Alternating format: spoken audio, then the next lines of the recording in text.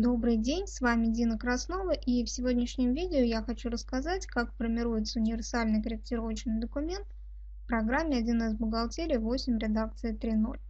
Начиная с версии 3.036.18 в программе можно формировать универсальный корректировочный документ. Формируется он через а, документ корректировка реализации, то есть это печатная форма документа корректировка реализации. Корректировку реализации мы можем сформировать через закладку покупки-продажи, раздел продажи, но проще всего делать корректировку на основании документа реализации. То есть вот у меня есть реализация, я могу на основании этого документа создать корректировку реализации.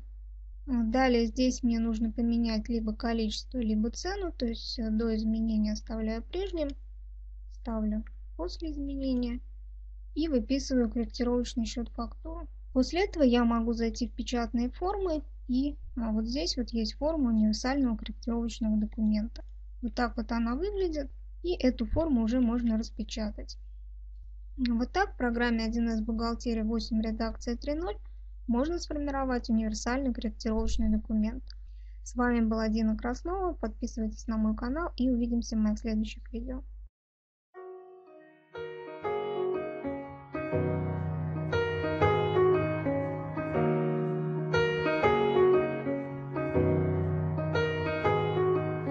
exile.